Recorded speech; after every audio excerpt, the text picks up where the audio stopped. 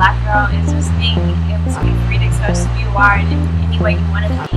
Loving your natural hair, loving your natural size, your color, everything.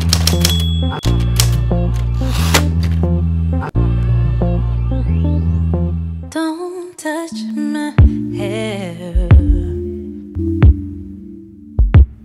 when it's the feelings I wear. Don't touch my soul rhythm I know. Confident and who just knows that she's beautiful without needing anyone to tell her. They don't understand what it means to me, but we chose to go where we meant to know.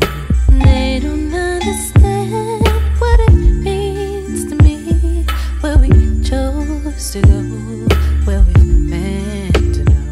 Loving yourself no matter your skin tone, what your hair might look like, what other people may think you look like because of who you are.